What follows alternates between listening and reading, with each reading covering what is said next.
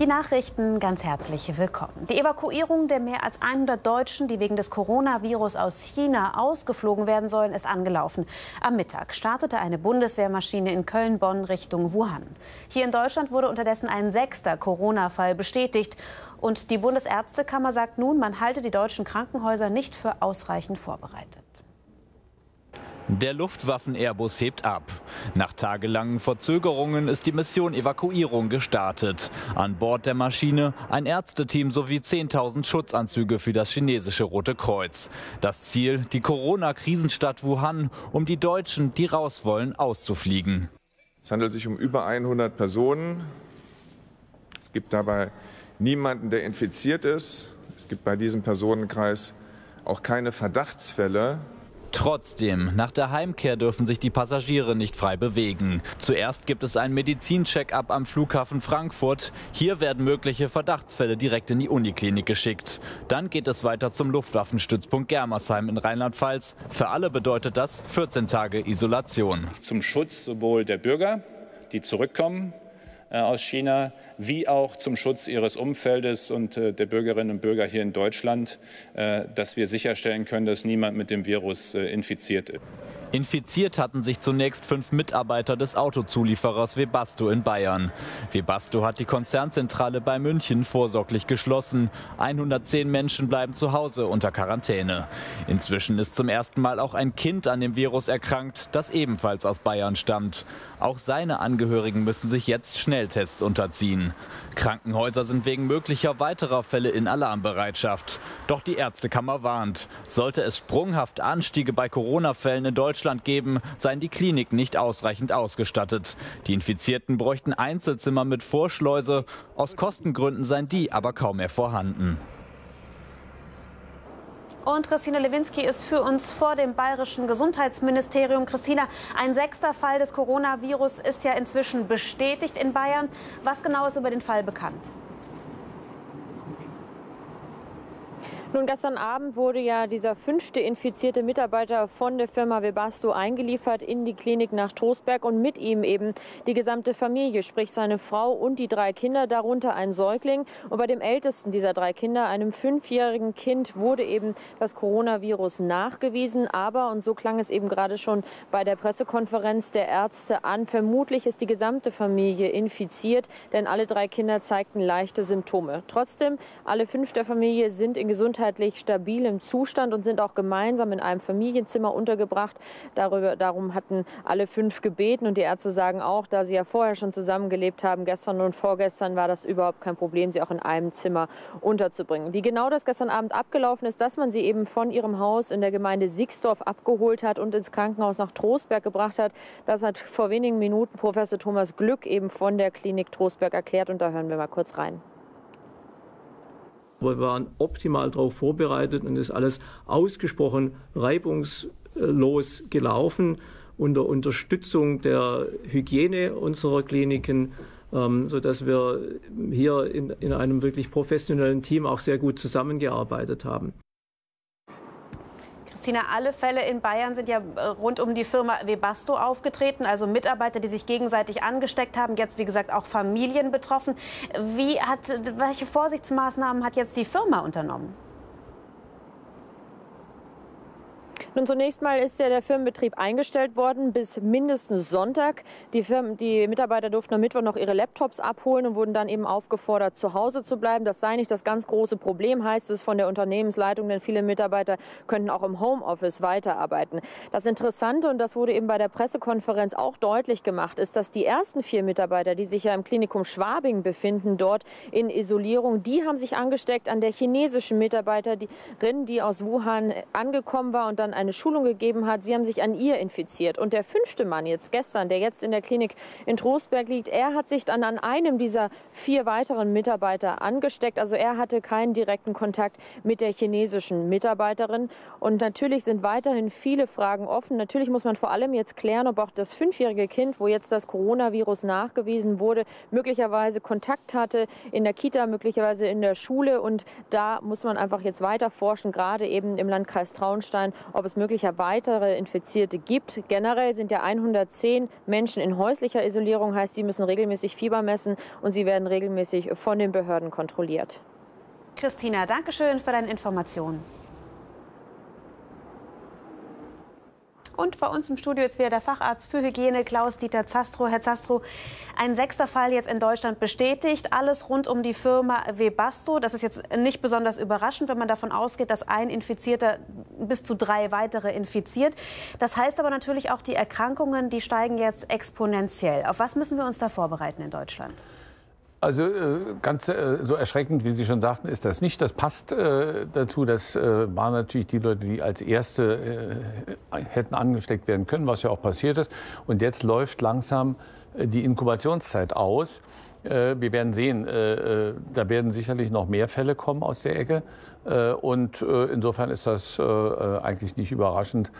Entscheidend äh, ist, dass wir weiterhin die äh, Betroffenen isolieren das, äh, äh, und äh, so ausstatten mit Mund-Nasenschutz beziehungsweise auch in den Krankenhäusern, dass eine Weiterverbreitung an andere nicht erfolgen kann. Bleiben wir noch mal bei dem konkreten Fall, jetzt eben bei dem sechsten Infizierten. Mhm. Das ist ja ein Kind, ein fünfjähriges mhm. Kind, was möglicherweise, wir wissen es nicht genau, auch in eine Kita geht. Nun weiß jeder, der Kinder hat, was es bedeutet, wenn Kinder in eine Kita gehen, wie schnell sich da Viren verbreiten. Ja. Wie, wie gefährlich ist das? Na gut, das ist tatsächlich schon äh, oder da ist eine größere Verbreitung zu erwarten. Äh, Kinder trinken aus derselben Tasse und ähnliches. Also äh, das ist natürlich nicht auszuschließen und das ist gut möglich. Und da steht man jetzt natürlich vor der Problematik, wie geht man dann da um? Es ist ja auch schwierig, dann die Kinder in dem Alter irgendwo zu isolieren. Das, also die können dann eigentlich nur noch zu Hause bleiben. Also das ist sicherlich eine, eine größere Fragestellung. Jetzt sagt ja die Bundesärzte, man halte die deutschen Krankenhäuser für nicht ausreichend vorbereitet. Stimmen Sie dem zu? Das so? Nein, also das ist ja, das trägt ja nun wirklich nur zur Panikmache bei. Äh, die Krankenhäuser sind äh, äh, ausgestattet, weil es eben hier um eine Schutzisolierung geht. Äh, und äh, die, äh, wir brauchen da nicht mal einen, einen Vorraum, wir brauchen ein Einzelzimmer. und da wird der Patient untergebracht. Und dann greifen die üblichen Schutzmaßnahmen wie bei multiresistenten Erregern. Und das trainieren wir und machen wir seit 25 Jahren. Seit 1995 haben wir MRSA und andere multiresistente. Das kennt jedes Krankenhaus und hat auch das Material. Und da muss man noch da eins dazu sagen. Wenn äh, vorhin gesagt wurde, wir haben zu wenig Einzelzimmer. Nein, äh, wenn Sie zwei Grippekranke haben, dann können Sie die auch in zwei Bettzimmer tun. Und wenn Sie drei haben, dann können Sie die drei auch zusammentun. Dann brauchen Sie keine getrennten Zimmer mehr, weil die sich untereinander nicht mehr anstecken können. Ja? Also, äh, dass man jetzt sagt, man bräuchte Hunderttausende von Einzelzimmern, das nennen wir Kohortenisolierung. Der gleiche Erreger, das gleiche Krankheitsbild, drei und vier Leute in ein Zimmer tun. Sagt Klaus-Dieter Zastro. Vielen Dank für Ihre Informationen. Gerne. Und wir schauen nach Großbritannien, genauer gesagt zum Militärflughafen in Oxfordshire. Dort ist in diesen Minuten ein Flugzeug gelandet an Bord Briten, die aus Wuhan ausgeflogen worden sind. Am Vormittag kam ja die Meldung, dass auch in Großbritannien erstmals zwei Fälle des neuartigen Coronavirus bestätigt wurden. Zwei Patienten seien in England positiv auf das Virus getestet worden. Das teilte der oberste englische Gesundheitsbeamte Chris Whitty heute mit. Es handelte sich um zwei Mitglieder derselben Familie. Weltweit sorgt der Ausbruch der akuten Atemwegserkrankung also für große Sorge. Allein in China sind über 9.600 bestätigte Erkrankungen bekannt. Stündlich steigt die Zahl der Neuinfektionen. Weltweit gibt es mittlerweile über 100 bestätigte Coronavirus-Fälle in 20 Ländern und damit dürfte noch lange nicht Schluss sein. Auch deshalb hat die WHO nun doch den internationalen Gesundheitsnotstand ausgerufen.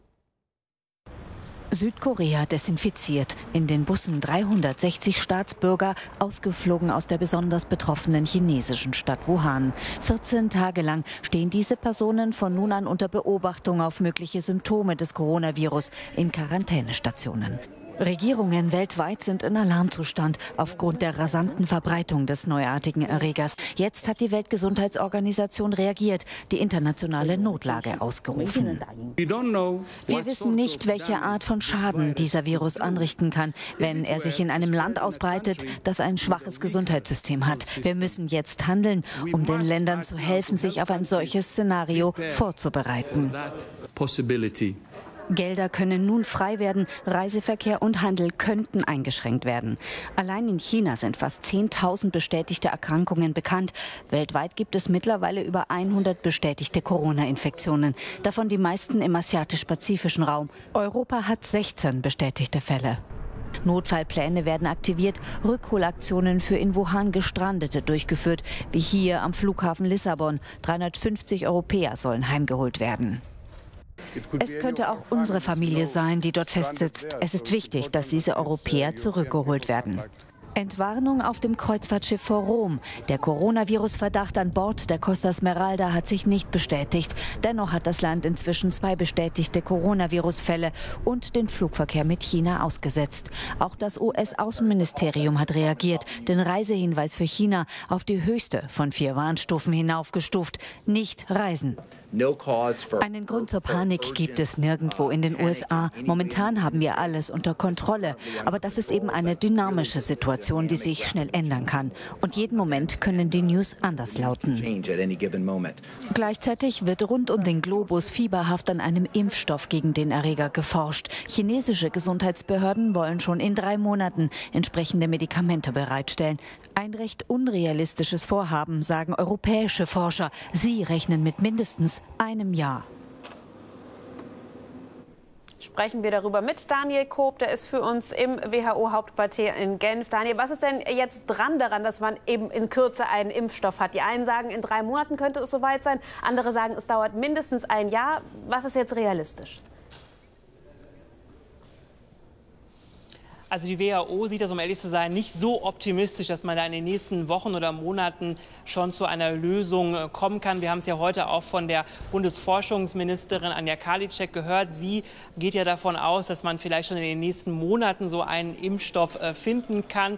Die WHO, das hat sie gestern auch bei der Pressekonferenz gesagt, die setzt natürlich momentan auf Synergien der einzelnen Forschungszentren, so zum Beispiel auch vom Robert Koch Institut in Deutschland, aber auch von einer Thüringer ähm, von, nicht von einer Thüringer, von einer Tübinger äh, Firma, dass man ja diesen Impfstoff dann möglichst auch bald finden kann. Aber wir können uns zum Beispiel an die SARS-Epidemie ähm, erinnern, die ist ja auch schon einige Jahre her und bis jetzt ist dort immer noch kein Impfstoff äh, gefunden worden und die WHO sieht es eher als realistisch an, dass das mindestens noch ein Jahr dauern wird, bis dann ein entsprechender Impfstoff auch gefunden wird. Die WHO hat sich ja etwas Zeit gelassen. Viele sagen etwas zu lang Zeit gelassen, um den internationalen Gesundheitsnotstand auszurufen. Aber jetzt hat sie es getan. Was genau bedeutet das? Ja, sie hat sich in der Tat Zeit gelassen, wurde dafür auch kritisiert. Es gab ja in den vergangenen Wochen immer wieder Sitzungen und ich habe so ein bisschen das Gefühl, das will natürlich hier keiner offiziell bestätigen, dass man das Ganze so ein bisschen unterschätzt hat. Aber als dann die Zahlen gestiegen sind, vor allem auch außerhalb von China, da musste man handeln.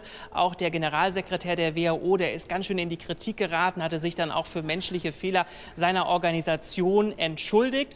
Die einzelnen Maßnahmen, die es jetzt gibt, da geht es um ehrlich zu sein eher mehr darum, dass die Länder zusammenarbeiten sollen, Wissen austauschen sollen und ganz klar die Botschaft hier von der WHO, es soll keine Panik gemacht werden. Man ist immer noch optimistisch, dass man diese Krise in den Griff bekommt und man hat ausdrücklich gestern hier auch noch einmal China gelobt, hat gesagt, dass das Krisenmanagement von China extrem vorbildlich ist. Wir können uns ja daran erinnern, in den letzten Tagen ist da ein Krankenhaus äh, gebaut worden mit mehr als 1000 Betten. Also China ist da gelobt worden, aber man macht sich mehr Gedanken um die Länder, die nicht ein so starkes Gesundheitssystem haben, wie das in China oder auch wie das in Europa der Fall ist. Daniel, danke schön für deine Informationen nach Genf.